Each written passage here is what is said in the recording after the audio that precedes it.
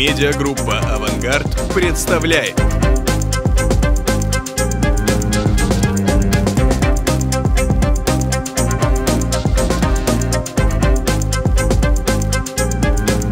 А, Я занимаюсь исключительно решениями Макафи, поэтому, в общем-то, моя тема непосредственно связана с одним из интересных новых продуктов э, данного вендора. Но мне, честно говоря, вот я на этом форуме первый раз имел несколько интересных бесед, и у меня появилось несколько, ну, они, может быть, не очень новые, эти мысли, но они у меня так выкристаллизовались хорошо в голове. А, В части облаков, в части защиты облаков, защиты рабочих нагрузок. Опять же, что есть облако? Да, вопрос довольно дискуссионный. А, На одном из форумов вендора, который проводил он в Европе, а, в общем-то, этот вопрос поднимался. На вопрос, а используете ли вы облака, заданные вендором в Европе, никто не поднял руки. Но когда спросили, есть ли у вас мобильные телефоны в карманах, был лес рук, естественно, да, и как бы все эти приложения, которые мы эксплуатируем каждый день, это по факту облачные клиенты, клиенты облачных сервисов. А, Поэтому хотим мы этого или нет, наши заказчики, фактически я являюсь заказчиком нескольких банков, а, мы используем облака, а, мы используем ваши сервисы, которые, собственно, ну, мне лично, как заказчику банка, хотелось бы, чтобы были удобными и безопасными. Здесь вот много говорили про биометрию. Я, честно говоря, не сдал свою биометрию в один из банков, который усиленно меня просил это сделать. А, при этом я даже отозвал свое согласие, которое я не давал этому банку. Ну, как бы вот такая коллизия происходит иногда. А, потому что я просто не понимаю, как это, вот мне как консюмеру, мне непонятно, как это работает, и почему с меня снимают слепок без моего ведома и куда-то передают в процессинг. Мне от этого становится страшно. А, опять же, любому айтишнику или безопаснику, который занимается вопросом а, информационной безопасности, процесса информационной безопасности внутри а, там, его ведомства, тоже страшно, когда возникает вопрос, что ну, нам необходимо как-то двинуться в облако, да? А зачем нам двигаться в облако в принципе? Ну, можно же остаться на земле, остаться в своей изолированной инфраструктуре и чувствовать себя, в общем-то, прекрасно защищенным в своем муравейнике, все хорошо. Но, как я сказал, я заказчик банка, мне хочется, чтобы продукт был удобный, безопасный, и мне хочется хотеть этот продукт использовать. Потому что если я его не буду хотеть использовать, ну, как бы не будет рынка, не будет ничего. А чтобы мне хотелось использовать это решение, а, люди, которые его пишут, должны хотеть его писать, то есть им должно доставлять это удовольствие. Так вот, один из тезисов, который я услышал, он не новый, он стар, как вся наша жизнь, а, не пущать и запрещать. Да, вот нам проще все запретить, все телефоны отобрать, все ноутбуки переформатировать, ничего туда не ставить, и пускай люди работают. Э, Мой вопрос, а как тогда работать, остался без ответа. То есть как бы, ну, как-то. А, Поэтому в любом случае движение в сторону удобства, движение в сторону каких-то удобных сервисов, которые нам предлагают и зарубежные вендоры, и отечественные вендоры, а, оно необходимое, оно будет. Мы это, хотим мы этого или нет, это движение будет. Понятное дело, что вот там, крайне а, депрессивная э, позиция, когда, когда мы хотим остаться на земле, ничего не развивать, быть в своем коконе, у нас есть периметр, есть периметровая защита, есть какие-то там антивирусные, возможно, решения внутри этого периметра, все хорошо. А, Это крайняя позиция. Есть другая крайняя. Давайте мы сейчас все откроем, все двери, пойдем во все облака, начнем все это дело использовать, а, повышать продуктивность наших там, разработчиков, наших там, не знаю, менеджеров, э, наших заказчиков. А, Это другая проблема, да, когда у нас появляется огромное количество новых векторов, которые нужно как-то закрывать, какие-то новые решения нужно использовать, там куча рисков. А, Есть более, скажем так, ну, демократичный подход, да, и опять же его, на самом деле сегодня его используют практически все. А, Это использование своих там, частных облаков, своего собственного частного облака, там какой-то там сот где-то построенный, один, два, три, пять, неважно, арендованные какие-то полки или сервера, это абсолютно реальность, которая уже давным-давно свершилась, я думаю, все это прекрасно понимаете. Ну и, возможно, передача какая-то частичная инфраструктуры в какие-то, возможно, публичные облака. Благо, у нас в России тоже эти облака есть, А, так или иначе этот рынок развивается, и ас облаков, поэтому, в общем-то, здесь двигаться можно. И, собственно, движение по факту происходит вот примерно таким способом. Да, у нас классическая инфраструктура, да, изолированная или там распределенная, но в целом с явным очерченным периметром, да, который мы четко осязаем, четко понимаем, где он, что он. А, следующий шаг, а, нам необходимо как-то трансформироваться, нам в наших, а, скажем, стенках становится тесно, нам нужно расширять нашу инфраструктуру, мы строим свои цоды, мы арендуем какие-то мощности, мы, собственно, подключаемся куда-то, платим за это какие-то деньги. Это вторая история с частным облаком, да, потом мы понимаем, что у нас появляется, ну, допустим, отдел продаж, они привыкли к удобству, им то, что динамичная работа, им нужно бегать, постоянно с кем-то общаться, куда-то что-то загружать, куда-то что-то выгружать. То есть а, появляется некий рынок сбыта для нас внутри SaaS каких-то приложений, да, то есть того, чего хранится где-то там в облаке, то есть там есть доступ пользовательский, там есть конфиденциальные данные. Это раз новый риск, их нужно как-то контролировать. Ну и, соответственно, следующий этап – это уже, скажем, трансформация инфраструктуры уже в скажем так, в публичные облака, когда мы понимаем, что наших ресурсов уже не хватает, у нас не хватает команд, но есть какие-то там архитекторы новомодные, облачные по, инфра, по инфраструктурам э, IaaS, э, и мы, в общем-то, начинаем смотреть на какие-то публичные облака типа IaaS, там, Azure, Amazon, Google Cloud, их, в общем-то, довольно много, Яндекс, Mail.ru, не принципиально в данном случае, это, в общем-то, все однотипно. Поэтому движение есть, но а у этого движения, как я сказал, есть риски. А, опять же, огромное количество новых векторов, новых возможных уязвимостей, которые нам нужно как-то закрывать, как-то контролировать. Эти риски должны быть нам четко известны, мы должны их четко понимать и быть в состоянии их митигировать. А, мы понимаем, что если у нас новые решения, и обычно возникает некий гэп, да, то есть нехватка информационная, нехватка контроля. То есть мы понимаем, что у нас где-то в облаке развернуты какие-то рабочие нагрузки. А что такое рабочая нагрузка? Ну, я думаю, все понимают, да, это виртуальная машина, контейнер, в данном случае это не принципиально. То есть что-то там развернулось, что-то там остановилось, каких-то новых э, виртуальных машин там накрутили наши разработчики, девопсы там, возможно, что-то наградили, и, в общем-то, у них процесс довольно сложный, девопс процесс, в общем-то, хорошо развит в мире. Это не столько автоматизация, сколько реально процесс. И там нужно очень много всего разворачивать. И это безопасности нужно как-то контролировать. Ну, хоть какие-то инструменты для этого иметь. И, в общем-то, либо безопасник – это клевый DevOps, что ну, не всегда реально, потому что человеку нужно очень много тогда э, разбирать информации и согласно комплайенса, и согласно каких-то лучших практик DevOps. Это, в общем, довольно сложная история, это обычно выделенные специалисты какие-то. А, опять же, у нас увеличится стек решений, да, здесь тоже риск довольно простой. Больше решений, больше органов управления, а, больше нагрузка на текущую команду, мы либо расширяем команду, увеличиваем затраты на, эту команду, а у нас появляется большое количество новых консолей, это риск. Да? Больше трех консолей уже довольно тяжело, в принципе, вот, когда постоянно открыто. А, опять же, традиционные подходы, ну мы все вышли да, из периметра, да, мы прекрасно понимаем, что у нас там есть email-гейт, веб-гейт, там NGFW-шки стоят, ну как бы все хорошо, но этот, а, этот подход при подобной трансформации может давать сбои довольно часто, и довольно много их может возникать, просто потому что мы ту инфраструктуру ну никак не контролируем. А, ну, это совсем, конечно, такой выраженный случай, но в целом чаще всего так и происходит. А, есть вендора, и их много, которые предлагают защиту облаков, понятное дело, но опять же это еще один риск, еще одно решение, еще одна консоль, еще один специалист, или, возможно, увеличить нагрузку на текущего специалиста, а он и так спать хочет, кофе ему уже явно не хватает. А, и вся вот эта вот ситуация, весь этот набор рисков по факту приводит к инерционности процесса безопасности, да, потому что мы понимаем, что Бизнес говорит, товарищи, давайте развиваться, давайте делать бизнес, давайте зарабатывать деньги. Собственно, консюмеры ждут, они хотят от нас наших сервисов. Говорит, подождите, у нас есть регулятор, у нас есть правила, у нас есть список решений, список подходов, вот мы только это можем делать, но вот сейчас у нас происходит некая трансформация, мы можем потихонечку начинать что-то куда-то разворачиваться. Инерционность.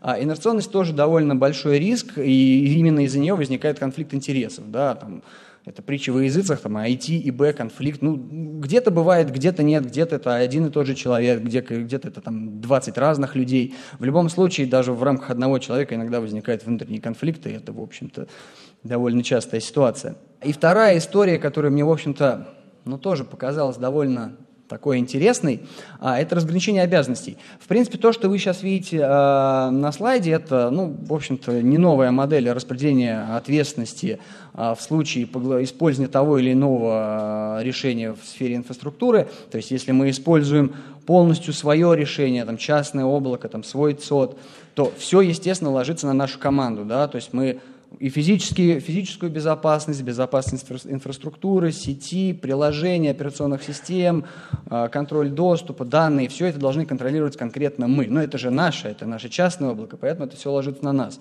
Когда мы начинаем переезжать там, на инфраструктуру арендованную, здесь тоже возникает, вот как раз был показательный момент, ну окей, хорошо, у нас есть айтишники, у них гипервизоры, они все там как бы закрывают, у них все как бы там хорошо, мы это по умолчанию принимаем, у нас там есть приложения, в этих приложениях есть данные, мы контролируем доступ к этим приложениям, мы контролируем данные в этих приложениях. На мой вопрос, а что делать с операционными системами, с гостевыми операционными системами, которые там крутятся? На что мне был дан ответ, ну, он не очень, э, скажем так, печатный, но резюме вот такая, всем все равно.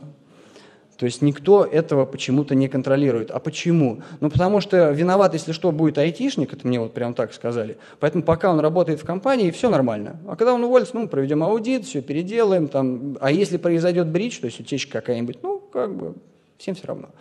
А, честно говоря, вот это вот не пущать и запрещать, и всем все равно, меня расстраивает. Но опять же, это не новая история, да, это как при царе Горохе. Я сразу вспомнил э, интерлюдию э, Аркадия Райкина, недовольный а, заказчик ателье, который пришел там в ателье, у него там один рукав такой, другой секой, там весь швы все по краям. И Райки меня спрашивает, я вот лично пришивал пуговицы. К пуговицам претензии есть? Нет, пуговицы пришиты намертво, не оторвешь. Все. Вот и здесь примерно такой же подход, на самом деле он крайне ну, что ли, скажем, неаккуратный и опасный. Потому что мы можем выпустить из виду какую-то важную часть, в частности, безопасности операционной системы, просто хотя бы патчи там все стоят. А что там внутри, этих, э, внутри нашей инфраструктуры происходит? Как происходит движение трафика горизонтальное? Да, там, может быть, уже давно у нас там Петя что-нибудь шифрует. Откуда мы знаем? Мы это смотрим? Нет. А зачем? У нас же есть инфраструктурщики, у нас же есть виртуализация, у нас там есть айтишники, которые все сделают. То есть это должен кто-то как-то контролировать. При этом а, прекрасно понятно, что ни один, скажем так, здравомыслящий администратор сервиса внутри компании а, не даст административный доступ человеку со стороны, будь он хоть там три раза безопасник. То есть он будет максимально этому противодействовать. А решения компании Макафи, которые есть на текущий момент на рынке Российской Федерации, позволяют закрывать, в принципе, все основные моменты, начиная от безопасности пользователей данных и спускаясь, ну, на физику, конечно, рассчитывать не стоит, но инфраструктуру контролировать при помощи этих решений можно. А при этом эти решения позволяют построить, ну, в общем, тот самый процесс замкнутый, да, от защиты до обнаружения, исправления и обратно к защите. Причем а, здесь рассматриваются как а, публичные инфраструктурные облака, так и частные. Там, я не знаю, кто-то у нас вот в России очень любит кластеры Kubernetes разворачивать и с ними там замечательно развлекаться. Пожалуйста, можно контролировать и эту систему оркестрации. Если у вас есть соды там на VMware, есть на OpenStack, может быть, пожалуйста. Никаких здесь ограничений у вендора нету. А, опять же, контроль а, безопасности сетевой тоже в, полном, в полной мере реализован. Ну, собственно, чтобы здесь долго не останавливаться, такой Красивый, конечно, слайд, но информации слишком много, он, по-моему, перегружен. Конкретно к решению, о котором я хотел рассказать сегодня. А, решение называется Cloud Workload Security. По факту это решение класса CWPP, Cloud Workload Protection Platform. Буквально там, пару месяцев назад э, одно из аналитических агентств, Forrester, по-моему, выпустил отчет, где это решение было признано одним из лидеров э, на текущий момент в данном классе решений. А, есть отчет с аналитикой, то есть там плюсы, минусы этого решения, поэтому если есть интерес ознакомиться более детально с независимым исследованием, я думаю, кулуарно можем, собственно, это обсудить. В общем, это не секретная информация в любом случае. Собственно, основные задачи, которые покрывает это решение, ну, первое, это, естественно, а, обнаружение и визуализация ваших рабочих нагрузок. Ну, по факту провести просто аудит того, что у вас есть. А, при этом все это дело выдается в виде понятному конкретному человеку, обычному человеку, да, в виде списков, систем с их инвентаризационной информацией, то есть какие там, какое программное обеспечение установлено, какие security policy прикручены, если это какое-то публичное облако, а, какие патчи установлены, если стоит специальный policy аудитор. В общем, там довольно большое количество информации можно получать довольно быстро, а, буквально, ну вот когда я знакомился с этим решением там, полгода назад, мне заняло подключение к моему V-центру 5 минут. Я получил информацию о всех своих нагрузках, получил э, информацию о тех операционных системах, которые защищены, которые нет. Я получил необходимые DevOps-скрипты, чтобы развернуть необходимые средства защиты в рамках этих э, рабочих нагрузок. В общем, решение довольно, э, скажем так, user-friendly и понятное для использования просто обычного айтишника, безопасника, то есть вот типа меня. То есть я не могу сказать, что я там семи пядей во лбу, что-то много чего знаю. Нет, я обычный человек вполне себе себе. А, а, это решение позволяет а, визуализировать сетевые взаимодействия в рамках ваших облачных инфраструктур. Об этом я чуть позднее подробнее расскажу. Ну и, естественно, это фишечка Макафи, в принципе все управление за этим решением, за всеми облачными нагрузками, за всеми вашими он-прем, возможно, конечными точками, которые вы решите защищать при помощи решения McAfee, осуществляется через единую консоль оркестрации ePolicy оркестратор. То есть у вас не появляется 10 новых консолей для защиты, защиты той или иной части вашей инфраструктуры. У вас все сконцентрировано в одном окне, по факту. По поводу обнаружения и визуализации, ну, в целом, а, я, в общем-то, уже рассказал, да, есть возможность подключения через API в, ну, довольно большой набор э, облачных и не очень инфраструктур. При этом он сейчас активно расширяется, буквально 26 февраля на конференции RSA у Макафи будет довольно большой пресс-релиз, связанный как раз с новыми возможностями этого продукта. А, я специально не затрагиваю еще одно решение McAfee э, Envision Cloud, которое является решением в классе CASB, которое дополняет это решение. Почему не, особо сильно не акцентируем? Потому что они будут интегрированы. Это будет он-прем безопасность в рамках вашего периметра, но с возможностями того решения, которое сейчас у McAfee есть в облаке. Помимо, ну, такой use case тоже довольно интересный. Я вот, моя а, ферма, небольшая, там буквально пару серверов, один в-центр. А, мы с ним, с моим коллегой используем его там для каждой для своих нужд, ну, просто как бы, чтобы утилизировать ресурсы лучше. А, я обнаружил все наши реально рабочие нагрузки в рамках нашего демо-стенда и пару виртуалок, которые занимались майнингом. У меня приятель просто увлекается, ему там интересно всякие эксперименты проводить. То есть история Shadow IT здесь тоже покрывается довольно неплохо. То есть айтишник а, у него там много всего в его ферме, да, там не одна, не один десяток иногда виртуальных машин. Соответственно, возможно, про, про какие-то он уже просто и думать забыл, и что они там делают, он просто уже не знает. В этой консоли это все будет видно самое главное. То есть даже если то, о чем мы забыли, и оно еще работает, а может быть даже и не работает, мы все равно это все увидим и сможем это как-то э, контролировать, изолировать, отключать, удалять. В общем-то, эти возможности все есть. Здесь э, стоит также отметить э, возможность, опять же, интеграции с сервером оркестрации Kubernetes. Э, о нем впереди будет, да, не конкретно о нем, а по его возможностям будет слайдик небольшой. Собственно, как выглядит это? Я, в принципе, говорю, единая консоль, удобно, но это все немножко эфемерно так. А в целом а, консоль а, Cloud Workload Security, как я сказал, является частью единой консоли оркестрации ePolicy оркестратор, просто некий отдельный модуль, который построен по принципу flow. То есть а, оператор работает в нем, то есть слева направо. Сначала он видит свои какие-то ассеты, свои какие-то активы, расположенные в каких-то там инфраструктурах, возможно, видит какие-то алерты от них, видит э, общую панель по количеству алертов, количеству нагрузок, видит их информацию об их статусе, какие там приложения установлены, э, какие не установлены. Далее он переходит непосредственно к ивентам, событиям, а, где уже подсвечен риск каждого отдельного события, где мы можем подсветить этот риск а, и в следующей панели по факту увидеть его детали. Да? То есть, не знаю, установлен, не установлены свежие апдейты винды, например, сделали бенчмарк такой, что вот нам необходимо, чтобы это подсвечивалось как critical, или там не установлен антивирус, или еще что-то. То есть это все в едином окне. И следующим, фактически завершающим этапом этого потока действий а, является выполнение какого-то конкретного действия над, этим, над этой нагрузкой. То есть мы можем его изолировать, на уровне сети в рамках нашего а, виртуального ЦОДа при помощи микросегментации, который строится на базе Virtual NSP, это IPS-решение компании McAfee, о нем тоже будет разговор небольшой. Мы можем отключить эту нагрузку, можем ее приостановить, можем настроить, например, если она находится в публичном облаке, привязать ее к какой-то security группе определенной. Ну, то есть там действий довольно много доступно, и все это, самое главное, доступно в одном окне. То есть браузер один, окно одно, и просто прошлись этим флоу и фактически оценили а, текущее состояние, которое имеет наша виртуальная инфраструктура. А, с точки зрения визуализации, ну, опять же, я, в общем-то, уже сказал, да, все это максимально наглядно в едином окне. Здесь, наверное, стоит, э, ну, важный момент сказать, это довольно удобно, и многим это нравится, особенно когда на пилоте это показываем. А, это визуализация сетевых взаимодействий. Причем здесь а, детектируются сетевые взаимодействия как горизонтальные, так и вертикальные. Что такое горизонтальное и вертикальное распространение, в принципе, все понимают. С точки зрения облака, вертикальное – это когда мы из интернета к облаку или из облака в интернет. То есть куда-то выходим за пределы нашего ну, скажем так, условного периметра нашего условного облака. Горизонтальное перемещение – это когда у нас между нашими нагрузками есть какое-то сетевое, сетевое взаимодействие. Это все контролируется этим решением, все это видно здесь.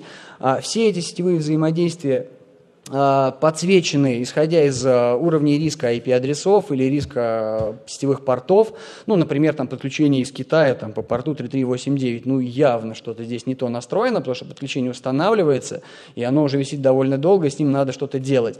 А, используя эту информацию, мы можем непосредственно разорвать это соединение, мы можем изолировать этот workload, мы можем его остановить. Опять же, действий довольно много. И самое главное, опять же, все это все в том же окне, никуда переключаться не требуется. А как происходит а, изоляция, вообще при помощи чего происходит изоляция а, рабочих нагрузок в рамках данного решения?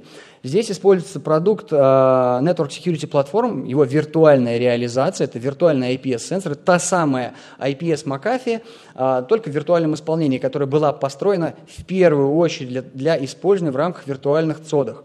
Это решение, которое может быть развернуто в режиме IDS, если вам нет необходимости привентить что-то, также совершенно нормально работает в режиме IPS. Если требуется превент, пожалуйста, она прекрасно работает.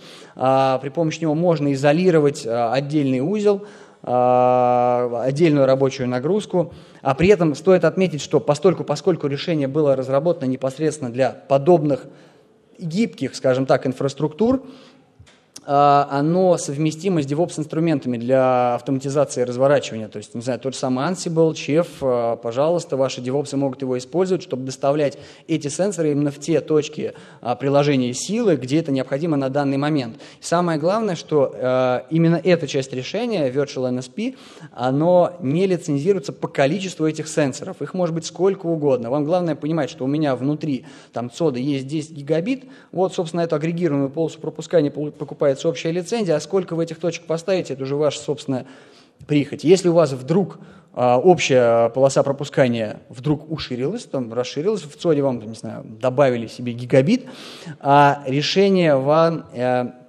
не будет строить никаких препонов. То есть вы можете увеличить э, эту пропускную способность. Ну, понятное дело, что здесь нужно четко осознавать, что с точки зрения бюджетирования это хорошо бы заложить, конечно, в ближайшем будущем, ну просто, просто потому, что вендор, конечно, добрый, а, любит джентльменские соглашения, но, опять же, бизнес бизнесом, тут надо четко понимать. Но опять же, если у вас есть моментальный пик, который необходимо покрыть, это покрывается без каких-либо там дополнительных звонков, писем, просьб выдать лицензию. Этого всего нет, то есть ваша лицензия покроет все ваши текущие нужды. Да, сенсоры – это тоже очень важный момент, когда у вас происходит какое-то управление политиками IPS, которые вам необходимо видоизменять, возможно, там используете какие-то свои снортовские э, правила, там, новую применили, они применяются в режиме real-time. То есть сенсор не гасится, трафик через него идет, он применяет текущие политики, там миллисекунды происходит применение этих политик, и, соответственно, после этого применения уже новые политики начинают работать по текущему трафику. То есть разрыва фактически никакого не происходит. То есть там есть возможность именно онлайн обновления. А небольшой пример того, собственно, как это работает. Ну, здесь пример а, по факту, по-моему, на AWS да, собран. А, у нас есть cloud-сервис-провайдер некий, да, есть некий балансировщик, есть наш VPC, но VPC это виртуальная машина, есть несколько зон доступности, но опять же это просто региональное распределение, у нас одна виртуалка может там быть в нескольких зонах доступности. У нас вот этот контроллер, а, он отвечает за разворачивание этих виртуальных сенсоров, а, в инфраструктуре. Разворачивает он прозрачно, то есть как только вы отправляете соответствующий управляющий сигнал, сразу происходит автоматизированное разворачивание. То есть это, в общем, интегрируется с DevOps очень хорошо. Трафик, поступающий из интернета в данном случае на одну из виртуальных машин, находящихся в одной из зон доступности, а, попадает фактически на сенсор, который отрабатывает уже заданную логику либо IDS, либо IPS. а, при этом он генерирует соответствующую сработку, там, не знаю, алерт, разрыв, изоляцию, это все, что вы ему настроите. А, ну и, собственно, продолжаем дальше работать. Его активность передается при помощи логов в соседнюю виртуальную машину в систему управления, а, Network Security Manager, а из нее информация об этих сработках уже перетекает в ePolicy оркестратор, который уже может быть развернут конкретно в, вашем, вашей инфраструктуре в, в рамках вашего локального периметра. Опять же, здесь пример амазоновский, абсолютно идентичная история с э, Azure ом, э, чуть немножко отличается с э, локальными дата-центрами там, на базе VMware или OpenStack, там просто нет контроллера, это все разворачивается другими инструментами. А по факту все это то же самое. То есть в целом, будь то вертикальное распространение или горизонтальное распространение трафика, весь этот трафик полностью контролируется при помощи probe-хостов, в данном случае ими выступает McAfee Virtual Network Sensor, и, в общем, может осуществляться разрыв. А, я обещал сказать про Kubernetes. Фактически, помимо инвентаризации рабочих нагрузок, ну, ваших контейнеров по факту или там приложений, эта система реализует помимо инвентаризации также и контроль сетевого взаимодействия. Разворачивается под специальный под, он есть готовый внутри системы вирту... контейнерной виртуализации, который выступает в роли эфемерного прокси. И фактически все сетевые подключения, которые генерируют ваши а, контейнеры, они попадают туда, и при помощи этого узла мы уже можем конкретно разб... Э, ну, настраивать правила микросегментации, кому, куда, какому контейнеру можно. На текущий момент McAfee не в конце прошлого года приобрел компанию NanoSec, то есть они спускаются еще ниже от микросегментации к наносегментации. И, собственно, текущий этап у них это видимость сетевого взаимодействия между сервисами вашего контейнера. То есть внутри контейнера уже что можно посмотреть происходит на уровне сети. И не просто посмотреть, но и привентить это тоже, если в этом есть необходимость. И этот функционал из облака постепенно будет спускаться в это он-прем решение. Ну, в общем-то, самый жаркий год, это у нас 2020, я думаю, тут будет много релизов не только у McAfee, в целом, с точки зрения DevSecOps, тут будет много интересного. И McAfee здесь, в общем-то, старается быть в лидерах. С точки зрения безопасности, организации защиты, ну, опять же, я уже большую часть описал. А, это и помимо а, инструментов виртуализации, а, инвентаризации, аудита, а, каких-то сложных виртуальных IPS-систем, но опять же в понимании это кажется сложным, хотя в целом это не настолько сложно, как может показаться на первый взгляд. Есть классические системы защиты, есть Классический антивирус, который совершенно нормально работает на виртуальных машинах, он для винды, для Linux, пожалуйста. Его можно разворачивать средствами McAfee и Policy оркестратор, либо используя готовые DevOps скрипты, просто э, запускать их непосредственно э, на этих рабочих нагрузках, если там винда или Linux, в зависимости от операционной системы, будет свой скрипт. Защита от угроз нулевого дня, ну, в общем, все то, что есть в портфеле McAfee, э, доступно и для защиты ваших гибридных инфраструктур. А при этом еще тоже такой довольно интересный момент. А, ну, все знают, что McAfee есть антивирус, да, и большая, большая часть из вас знает, как его удалить, наверное. А, это, в общем-то, я даже не сомневаюсь. Но, к сожалению, почему-то мало кто знает, что у McAfee есть специальный антивирус для защиты сред виртуализации. Это совсем не новый продукт, это очень зрелый продукт. Он есть как для, а, скажем так, Hypervisor агностик, то есть не привязанный к гипервизору агентский режим, и есть безагентский режим для гипервизора VMware, а, прекрасно работает при помощи специальной ноды offload сканирования, где, куда агенты или API специальный передает данные для анализа, то есть мы избегаем при помощи этого решения а, штормов сканирования. А, если мы ну, если нам кажется это слишком сложным, мы хотим классический антивирус, классический антивирус тоже имеет специальные инструменты для управления нагрузками, сканирования и обновления этих модулей. Поэтому, собственно, все текущие решения McAfee для антивирусной защиты фактически позволяют закрыть любые ваши задачи в рамках гибридных э, дата-центров. Ну, по поводу упрощения, здесь, в общем-то, все само за себя говорит. А, все политики а, полностью настраиваются через единую консоль оркестрации и полиси оркестратора, я уже несколько раз про это сказал. А, эта консоль имеет открытый API, Он документирован, он выложен в открытый доступ. Пожалуйста, изучайте, спрашивайте. То есть можете написать мне, я смогу вас проконсультировать по этим вопросам, как вам сделать ту или иную задачу, используя как раз API а, McAfee Policy Orchestrator. Опять же, э, API есть практически для всех продуктов McAfee, и он весь документирован и весь опубликован. То есть это не коммерческая тайна, это не ахти какой секрет, это наоборот э, инструмент для вашего, собственно, роста, для выстраивания вашей автоматизации и, как следствие, впоследствии оркестрации. Собственно, какие типы защит в принципе а, присутствуют подо мной, это тоже меня буквально я имел там полчаса вчера разговора с одним из а, банкиров. Как лицензируется? Лицензируется по количеству рабочих нагрузок. Опять же, а, здесь мы говорим об активных нагрузках. Есть различные варианты. Есть там базовая защита, включающая в себя антивирус, хостовый э, фаервол, хостовый IPS, тот самый Cloud Workload Security, модули аудита. Это базовая вещь. Если нам нужно чуть побольше, посложнее, нам нужна защита от нулевых а, от атак нулевого дня, ну, допустим, неизвестных каких-то объектов там, с, изме... с измененным хэшом там, тех же самых. А, есть модули машинного обучения, причем они могут работать как изолированно, так и в подключенной к облаку инфраструктуре. Есть возможность интеграции, опять же, с виртуальной IPS, как раз это дает вот, вот этот комплект. А, ну и максимальная защита, которая включает в себя, помимо всего прочего, и белые списки и контроль целостности для серверных и клиентских операционных систем, которые у вас могут использоваться в ваших гибридных инфраструктурах. В общем, все, что вам требуется на текущий момент, уже есть. Вопрос, а что с этим делать? Посмотреть на это довольно просто. Мы можем провести легкую демонстрацию, там, не знаю, полчаса, час – Обычно этого достаточно, чтобы понять, что может делать продукт, что не может. Можем провести пилот, который ну, наименее болезненный как для вас, так и для ваших инфраструктурщиков. Он не требует никакого а, райт-доступа, то есть достаточно редонли режима к инфраструктуре. Вы проведете аудит всех ваших нагрузок, вы увидите все то, что происходит а, в вашем облаке, опять же в кавычках. А, этот пилот занимает там, от недели до двух довольно быстро.